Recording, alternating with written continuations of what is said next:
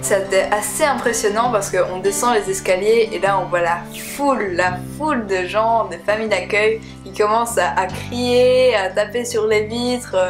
Et euh, donc on arrive là-dedans, j'étais une des premières à arriver et c'était impressionnant Je m'étais préparée à ce moment donc euh, je m'attendais à être stressée ou quoi mais non, pas du tout. Je suis arrivée, ça a été tout naturel, ça, a ça coulait de source pour moi.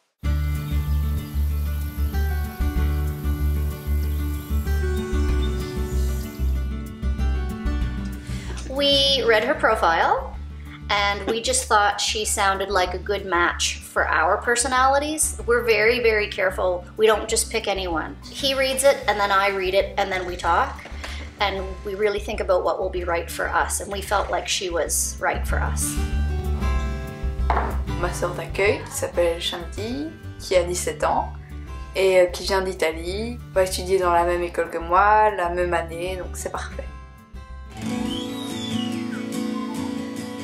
There are really mostly very positive experiences yeah. that host families have. And uh, it isn't just like renting a room. It isn't like yeah. having someone staying in your house. Uh, you know, it's my it's my daughters when they're here, um, and I'm I'm protective like a father would be, mm-hmm. um, and I think that's important. I think they feel more loved, but it's just the only way I can do it. But I do think that's important.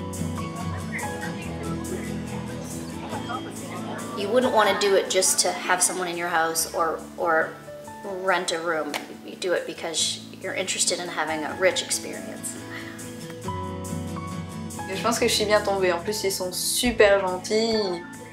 Ils sont bien placés au niveau de l'école, etc. Donc, c'est génial. J'aurais pas, pas pu sauter mieux.